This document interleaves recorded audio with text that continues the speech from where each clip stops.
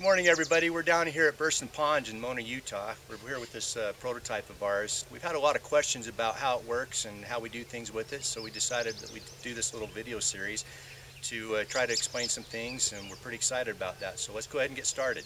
We've had a number of people ask us the, about the feeder and where it's at and how it works, and so we'll start with that. The feeder's in the back, and it, we put it there so that it, it discourages robber bees, allows the colony inside the beehive to have uh, basic access to the um, to what we want to feed them.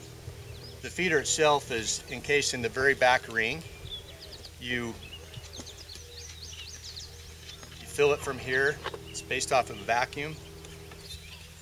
And then on the underside, the bees actually access the bottom of the feeder to actually get to the to the liquid, to the sugar, water, or whatever recipe you want to use as far as filling this up. Hey, thanks for watching these videos today. You can follow us on Facebook and Twitter.